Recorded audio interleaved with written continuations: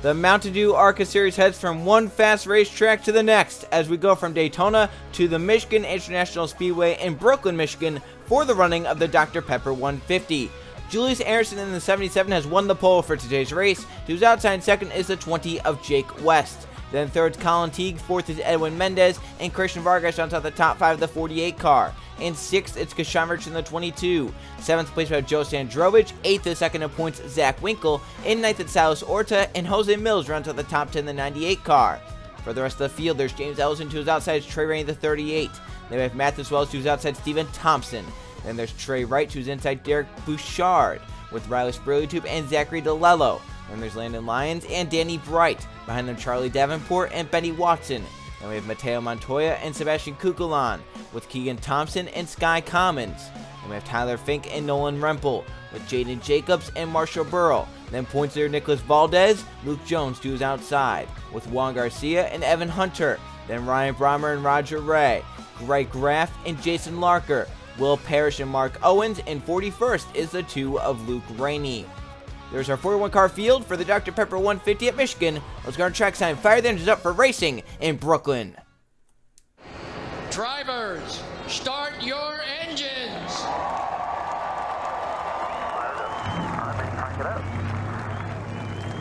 Sandy, how are you? You're right up there? Where are you at? Yes, sir. All 41 cars rolling off the starting grid here in Michigan to go racing once again at a fast racetrack in the Mountain Dew ARCA Series. Only two drivers coming within a race of the points lead. Nicholas Valdez leads Zach Winkle by about 30 points. They are over 200 points out of third on back. So right now it's a two-man race for the championship. However, it's race 16, 23 races.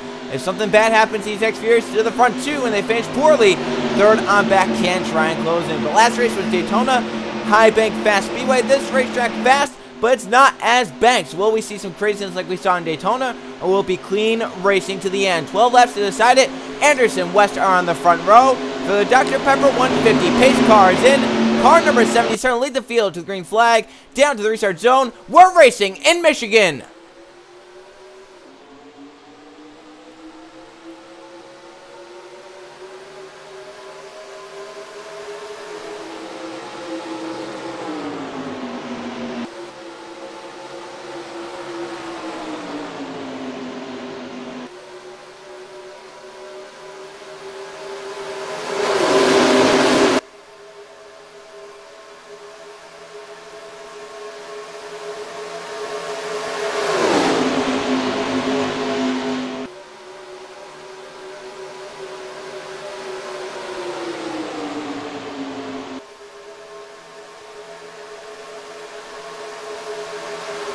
Already some three wide, but Jake West leads lap one by a bumper.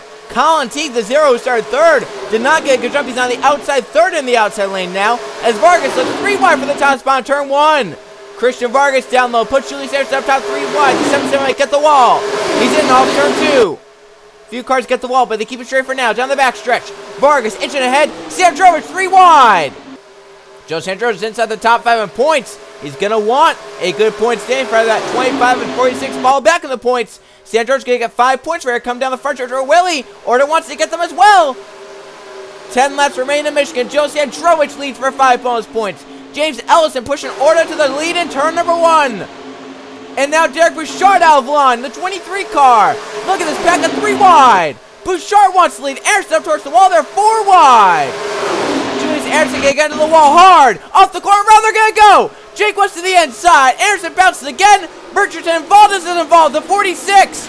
Keegan Thompson gets some others. Caution flag is in the air. There's a damage to the 46 car. Racing back around. Here comes Benny Watson on Zachary DeLello.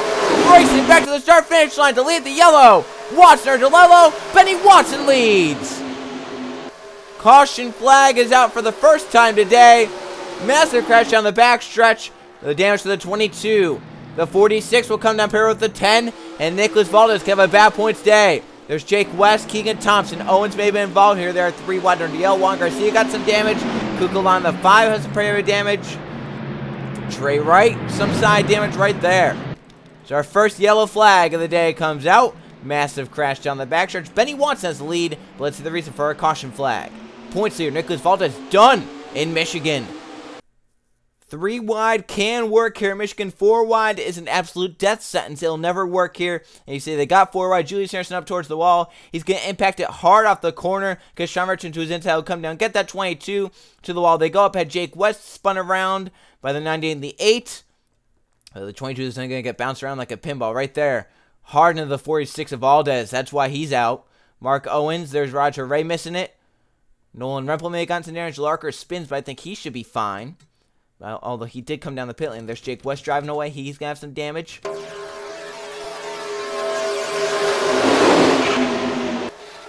That was a crazy crash for sure. I think that's Jaden Jacobs, the 37 getting bounced out flying down there towards the inside. He got some damage, but otherwise he should be fine. 37 car. You'll see right here. At four wide. And Zach Winkle was lucky to miss it. He was right in the middle of it all.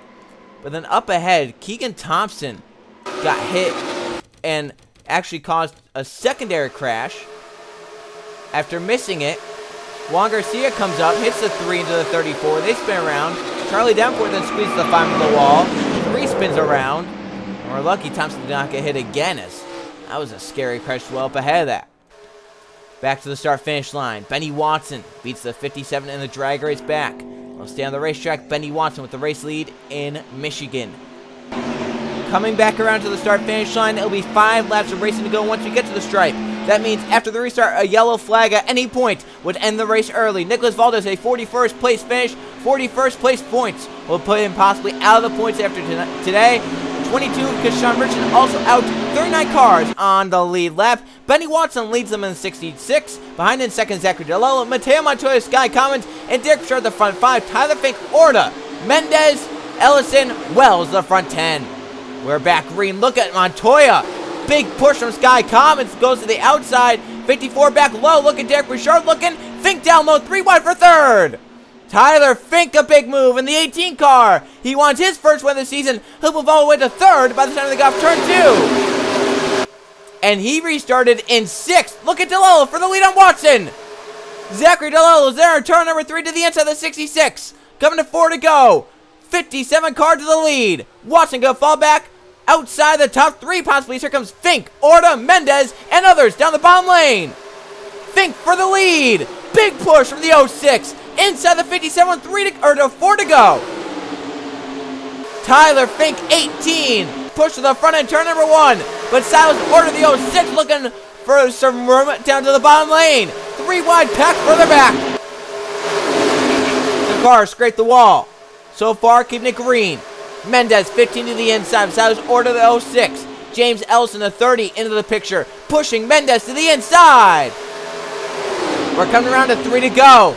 Time is of the essence because a yellow flag could happen at any point. Trey Rainey is looking three wide bottom lane. Edwin Mendez to the lead. Here comes Trey Rainey, three wide. Joe Sandrovich with them. Three laps remain to Michigan. This three wide's a little sketchy at this point. We could have a crash. It could end the race. Joe Sandrovich knows that. He wants it. His teammate Danny Bright with them. Down low. Joe Sandrovich into the wall for Edwin Mendez. They're going to go around on the backstretch. Massive crash, racing back around.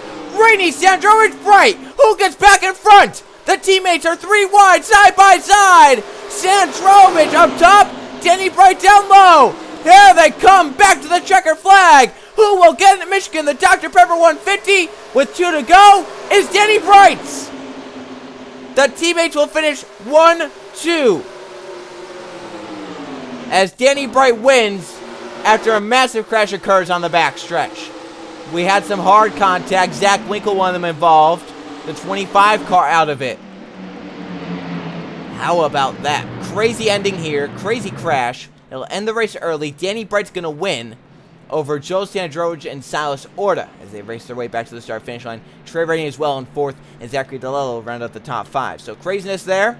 That happened with two to go. We'll go see what happened very quickly, and then we'll come back at the conclusion of the Dr. Pepper 150 racing off of the corner. This is a just a setup for disaster right here with how Tyler Fink is just ahead of these charges. He's going to get the wall off the corner. Let's get some down into Benny Watson. Gets down to Wells, Bouchard. They go spinning. Also up ahead, they go spinning. There's Edwin Mendez. Bouchard down towards the inside. He's actually going to impact it with the rear end of that car. We have seen some hard hits happen to that inside wall before.